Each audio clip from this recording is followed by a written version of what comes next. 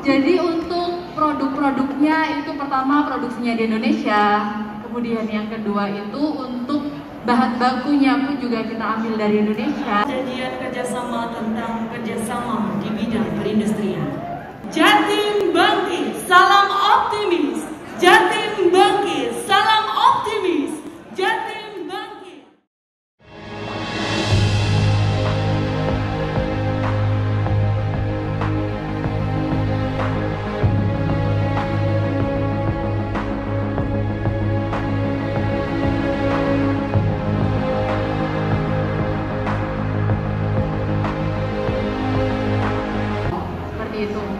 Dan untuk nilai PTKDE-nya itu lumayan tinggi, 70 sampai 80 persen.